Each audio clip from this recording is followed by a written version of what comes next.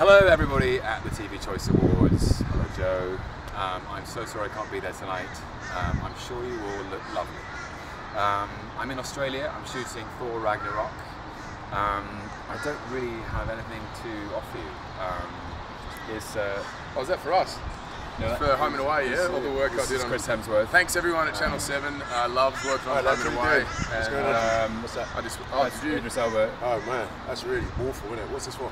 It's, Uh, uh, so the night manager. For, for, you become, hey, hey, we didn't watch that. how come We- Luther didn't get nominated? Right, and, and Home and Away. I think it may, Yeah. may still. Home I feel like Home and Away won a couple of awards uh, back in the day.